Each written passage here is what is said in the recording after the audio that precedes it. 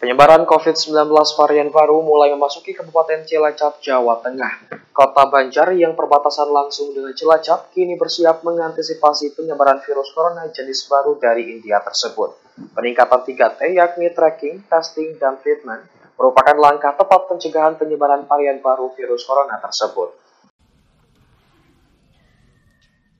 COVID-19 varian baru asal India telah memasuki Indonesia tidak terkecuali di Jawa Barat dan Jawa Tengah. Kota Banjar yang perbatasan langsung dengan Jawa Tengah kini sedang mengantisipasi kasus COVID jenis baru yang telah ditemukan di Kabupaten Cilacap. Pemkot dan Satgas Penanganan COVID-19 pun tengah melakukan langkah antisipasi penyebaran virus corona jenis baru tersebut.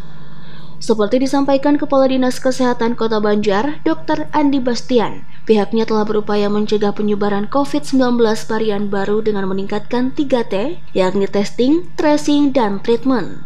Selain itu, penerapan protokol kesehatan 5M harus dipatuhi bersama untuk menghindari virus corona jenis baru tersebut.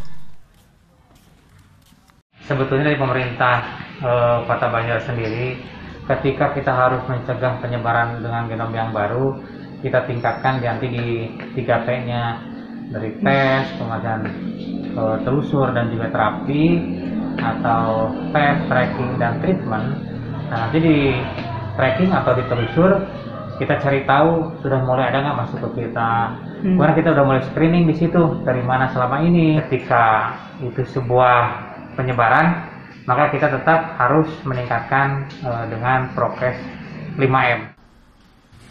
Andi berharap masyarakat semakin disiplin menerapkan protokol kesehatan 5M dalam era kenormalan baru. Dari Kota Banjar, Sukirman Radar TV melaporkan.